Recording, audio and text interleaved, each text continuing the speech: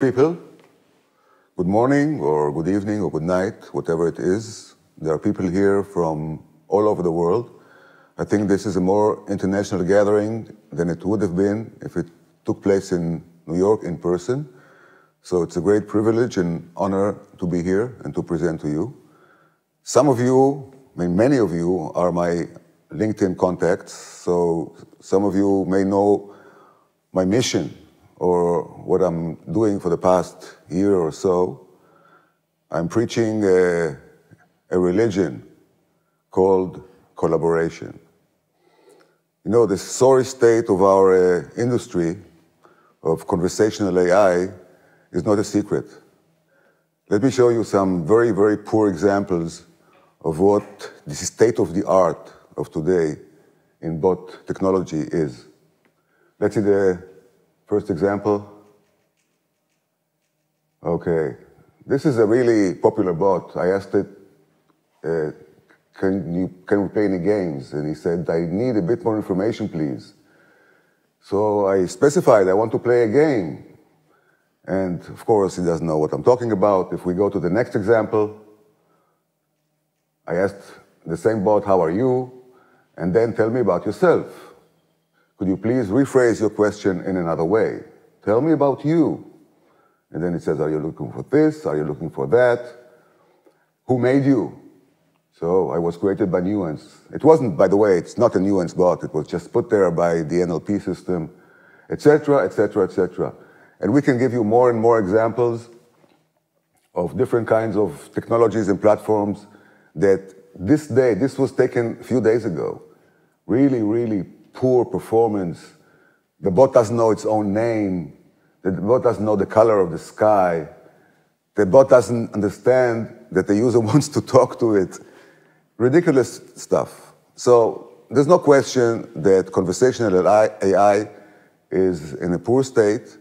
And this is in contrast with the field of digital assistance, which is flourishing. It's very easy to get answers to questions from digital assistants, uh, to hold very short exchanges, like one or two turns, but no real conversation is really going on.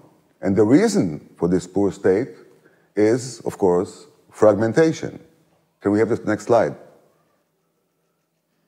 This is just some few names I collected for this presentation to demonstrate how crowded and how fragmented the area of conversational AI is. There's an endless number of platforms, some more popular, some less popular. There's not a single technology here that is close to having 10% of the market. There are literally hundreds of different ways to develop chatbots. And therefore, it's not a surprise that nothing is really happening. There is no code reuse, there is no collaboration. Everybody is developing everything from scratch. So, in order to demonstrate this sorry state of affairs, I took a, a contemporary example, so to speak. And uh, to demonstrate my point, I took a bot which has been online for a long time now, called Anna. Anna is a companionship bot. Hi, Yaki. Hello, Jason. How are you? Jason is Anna's caretaker. He is the father of Anna, so to speak. He's been running her on different platforms. You can see Anna's face here on Facebook. Uh, Anna had some previous uh, incarnations, and the next one here you can see Anna in uh, real flesh and blood. She here she makes an appearance at the Berlin Chatbot Summit conference. We put uh, Anna's soul into this pepper robot. And uh, for the sake of this particular speech, we gave Anna a different face. Uh, and this is the face that uh, I gave. i am going to use a, a push to talk phone in order to communicate with her so she doesn't confuse what I'm saying to you with what I'm saying to her. So I would say, hello, Anna. Hi, Yaki. What's up? Have you heard about the coronavirus? No, I haven't. Can you tell me about it? Well, this happened. This actually happened a couple of months ago. A user was talking to Anna. Anna has many followers. And he asked her about the then new coronavirus. Anna didn't know anything. What Anna says when she's confronted with a question of a term she doesn't recognize, she asks the user to explain or to define the term. So as you know, as you see here, uh, Anna doesn't know anything about the coronavirus.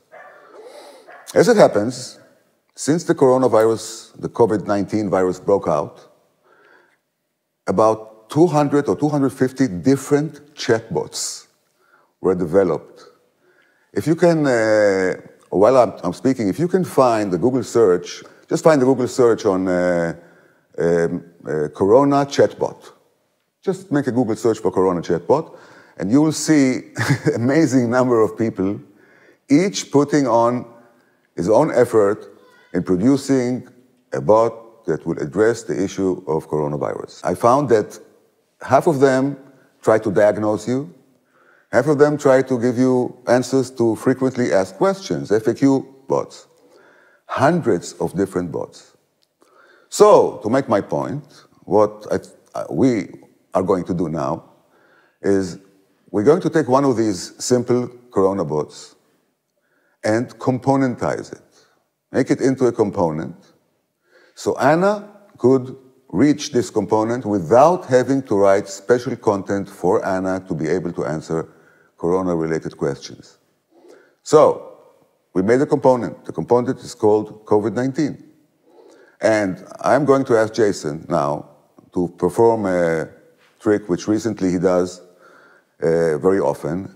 And this is to add, you don't have to show yourself, it's okay, you just, yeah. But I want to show myself. Okay. What can I do? What can I put in for Anna? COVID 19. What you do is you take the COVID 19 component and you hook it up to Anna. When Anna gets an intent or a question related to either to Corona or to COVID 19, what you need to do is you need to activate this particular component. Then when it's done, it will signal that it's done and Anna will continue her flow. Okay, it's I'll going to take it's going to take Jason maybe three minutes, four three minutes. minutes. You're gonna play the piano while I'm play for the No, I'll I'll I'll speak. so the point is this. You develop the COVID-19 uh, chatbot once, okay? And you give access to this component to every other bot makers out there. And if it's good enough, there's no need for anyone else to develop this special content for this special case. If there was a good source that provides good information, good conversation about this subject, there's no reason not to use it. Why redevelop the wheel again and again and again? So what Jason is doing, he's taking a simple chat, he took a simple chatbot, a Corona chatbot, converted it into a component form, which is really very easy to do. And now it's going to hook up this component to Anna. Now, after this talk is over, you're all invited. If you have, if you run a bot or many bots, you're invited. Okay, I got it. I'm done. No, no shit. Yeah, it's. I worked hard on it. It's ready to go, yeah. Whenever you're ready to go, she's got the component. But I didn't explain. Let me finish my explanation first. Okay. So it works like this. Uh, you develop it once, you post it somewhere. In our case, it's our Coco Conversational Component Marketplace or Coco Hub. And you get a good conversation about, uh, about the subject in, in, at hand. So in this case, it's the Corona, Corona component. And what Jason did, he hooked up Anna to the Corona component. So what I'm going to do, I'm going to restart my conversation with Anna, only this time it's going to be a little more knowledgeable than before. Uh, so, hey Anna. Hello again, Yaki. Can you tell me about the coronavirus? Coronavirus disease, COVID 19, is an infectious disease caused by a new virus. I hope you are feeling well now. Yes, I'm fine, thank you. The CDC classifies shortness of breath or chest pains as a cause for immediate medical attention. Do you have any persistent pain or pressure in the chest? No, no, I feel well, thank you. I'm happy to hear it. Any other questions about the pandemic? Is there a vaccine? To date, there is no vaccine and no specific antiviral medicine to prevent or treat COVID 2019. How many people died already? The numbers change every day. You can follow the statistics here www.worldometers.info slash coronavirus slash. Thank you, Anna. Thank you, Yaki. Always trying to do my best. Good job, Jason. So, as you can see, uh, it was really a short demo. Uh, you could, you can, after this talk is over, of course, go to the marketplace and test this component. All you need to do is ask for the coronavirus component and speak to it. Or you can integrate this very component into your own bot uh, in case it doesn't know about the coronavirus yet. So uh, the point is clear. Why reinvent the wheel if you can use code developed by others? So what I suggest you do is you go to cocohub.ai, register, test the component, and try to integrate it into your bot. Anything else you'd like to add? Oh yeah, yeah. Hey, it's great, great talk by the way. It's going really well, I think.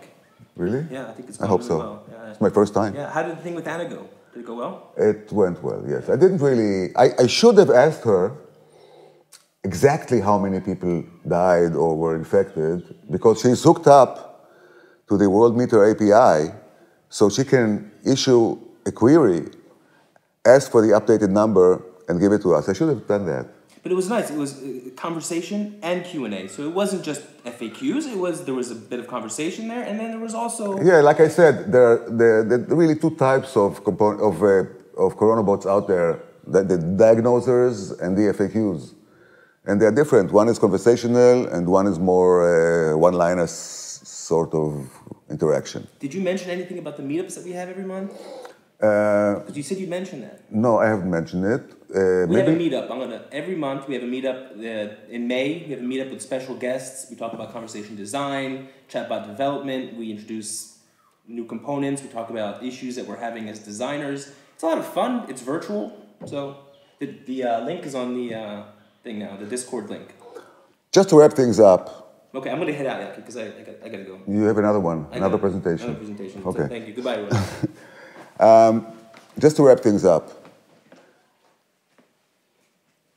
it would have been made more sense if one of the big players put up a, a marketplace or a hub like this and offering all the different platforms a way to communicate and reuse code.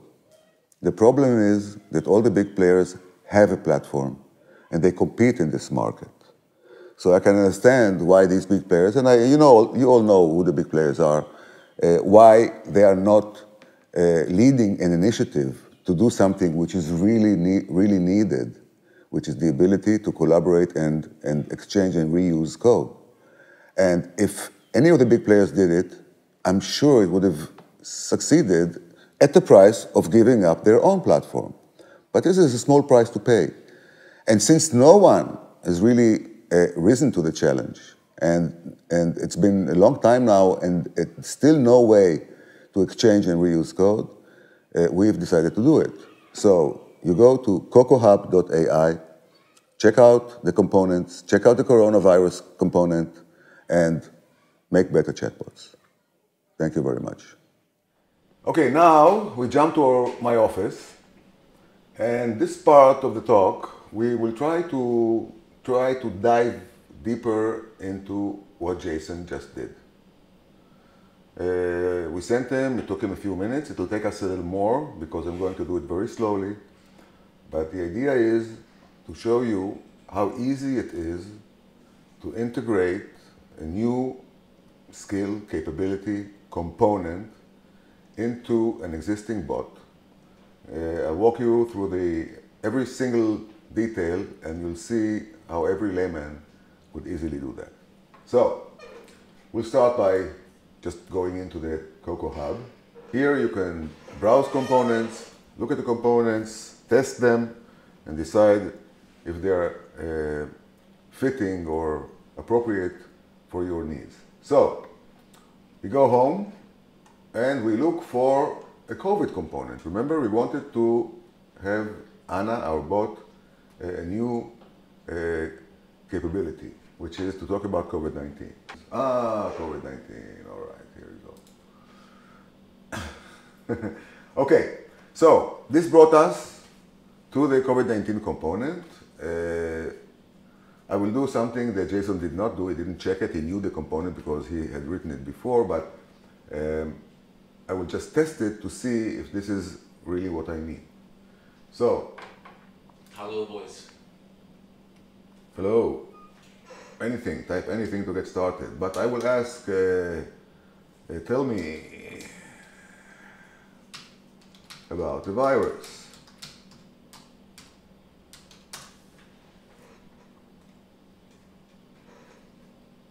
Corona disease is an infectious disease caused by new virus. I hope you are feeling well now. This is boring with the, with the text. I think I'll use the voice option here. Okay. Coronavirus disease COVID-19 is an infectious disease caused by a new virus. I hope you are feeling well now. Yes. Thanks. Excellent. Stay healthy. Um, how can I protect myself? Regularly and thoroughly clean your hands with an alcohol-based hand rub or wash them with soap and water. This can help prevent spreading the virus. And how about the question I asked in the demo? Uh, is there a vaccine? To date, there is no vaccine and no specific antiviral medicine to prevent or treat COVID-2019. If we want to change, these are all the responses that the bot could possibly issue throughout the conversations, and all these responses can be modified, can be changed, translated into another language, style modified, etc. etc. So, if you why want, is it important for users to be able to customize the text of because every every bot has his own personality and his own way to speak and to say things, and besides, it, this can be used in any language. So, if you want to uh, deploy a German COVID bot, then all you need to do is translate these responses into um, into German.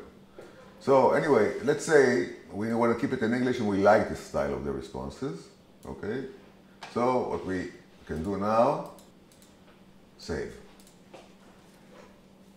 Publish successful. So now the uh, customized version of my new component is here. And I have a blueprint ID, you see?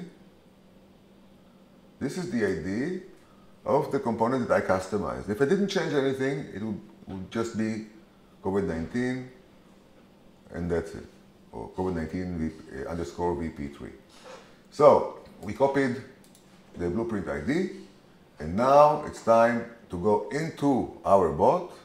For someone who does not have much experience coding or in programming and you know they've maybe done a course in Dialogflow or in Rasa, how difficult is it, is it for them to be able to use CocoHub?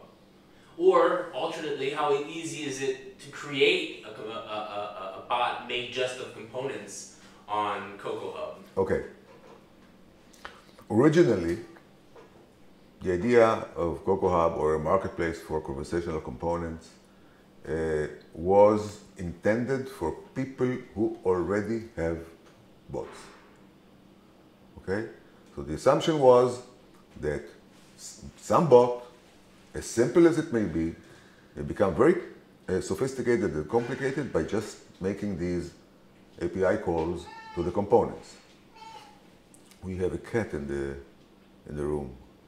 It's okay. Come on, come here. Um, but then we soon realized it's so easy to add a component, to add a skill to the uh, using the, the, the hub. Then we decided to provide a framework that imitates a calling bot. That means that you don't really need a calling bot, it's empty. Okay? And the bot starts by calling some component, and all you need to do is determine the order in which these components will be called in case of failure, in case of success, etc. So you build a little tree of threaded components without anything in between, without any glue between them, just jumping from component to component in the right order that the, the developer determined. And if you look at the screen right now, I'll show you a very, very brief uh, preview of this bot studio, we call it, which is the ability to take a component, attach it to another component, maybe to a third one, and make this whole thing, guess what? A component. Because think about it. A component is a bot. It's a full-fledged system. It can be broad or narrow. It can cover just the small task of acquiring your first and last name.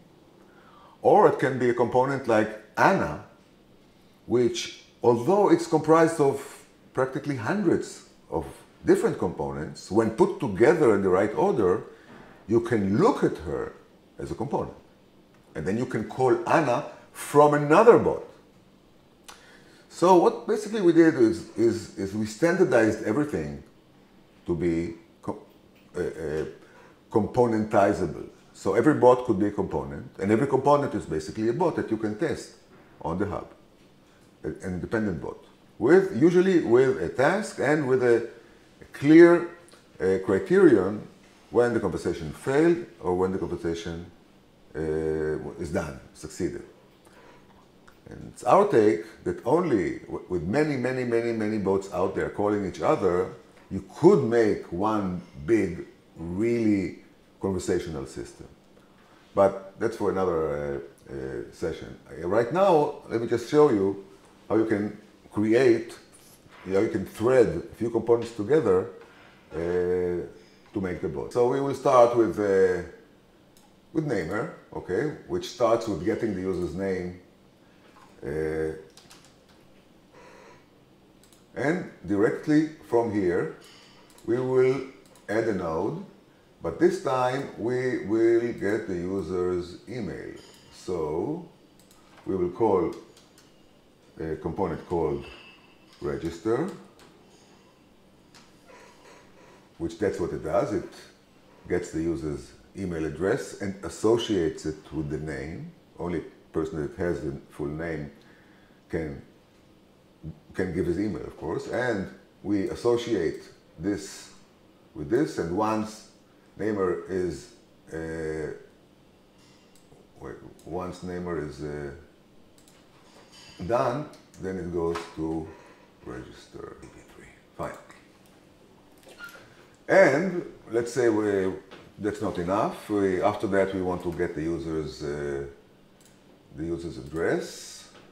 So we do a get address. And then at the end, uh, let's say that we want to make sure that if the user wants to leave, that he also gives us uh, some kind of review. So we'll add another node called add node called uh, retention.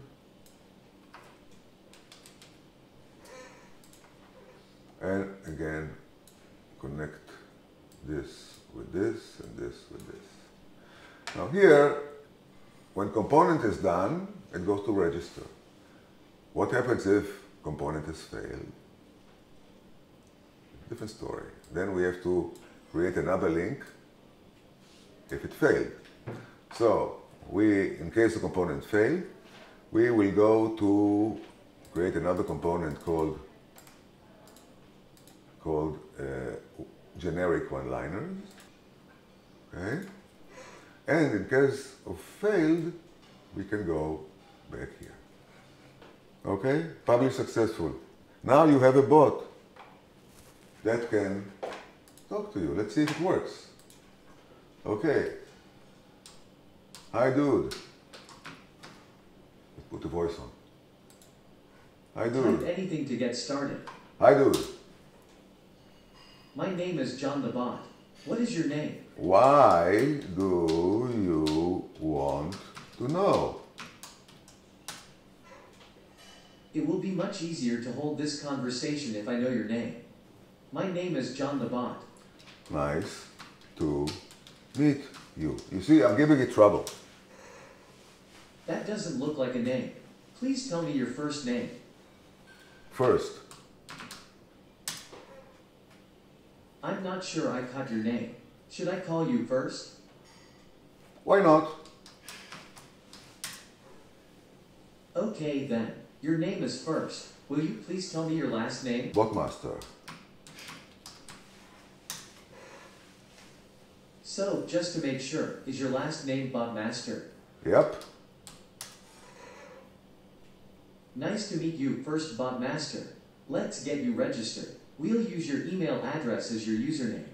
Please give me your email now. A, B, C, D, E, F, G. That does not look like an email address.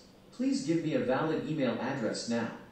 Okay, okay, okay. Uh, Yaki at a-i.com. Yaki at a-i.com. Now, please tell me the name of your organization and your job title. If you insist,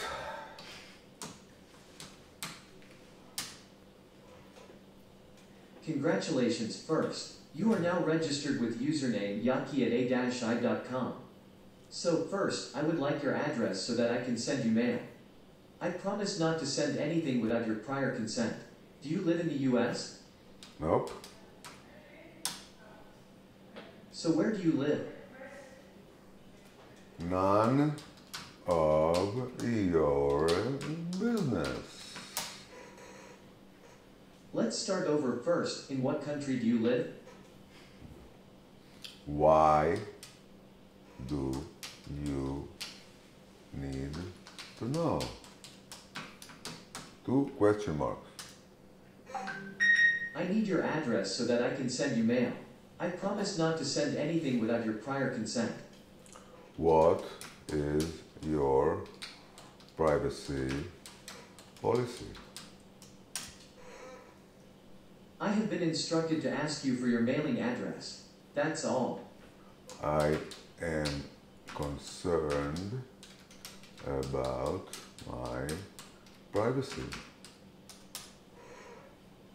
Wait a second first. Can I ask you something before you leave? Yes, For my professional future, I need to know how well I handled this conversation. On a scale of 1 to 10, how would you grade our conversation? 1 equals awful, 10 equals excellent. what would you say? Nine. Four. Four? Four. Not bad, but not great. Could have done worse, I guess. Thanks first. Are you sure you want to leave this pleasant conversation? Yes, enough of that. Well, goodbye first. Goodbye first. This was really a quick peek into the way things are done here, how easy it is to augment the capabilities of an existing bot, and how easy it is to build a really capable bot out of thin air in minutes. Um, I'll be here for another 15, 20 minutes, or as long as you will be interested in asking me questions. Uh, you can find me and the rest of the team on our Discord channel, and you're all welcome to ask away. Thanks a lot.